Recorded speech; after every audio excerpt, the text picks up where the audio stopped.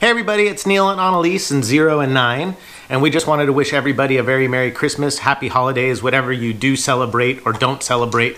We hope you're somewhere uh, warm and safe and with family. We also know this time of year can be really tough for a lot of people for many, many different reasons. And if this is not the best time of year for you, please know there are people out there that care and that will listen.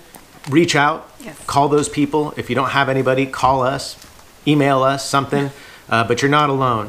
And if you happen to be one of the lucky ones like us that have a warm place to be this Christmas or this year, whenever, and if you know of someone who's maybe having a hard time, maybe reach out, just say hello, and let them know that they're on your mind, because sometimes that's all the difference in the world. So please be kind to others. We never know what other people are going through, and like I said, this time can be brutal for some people. So hope you're safe and warm. Please take care of yourself. Please reach out if you need to. Thanks. Take care.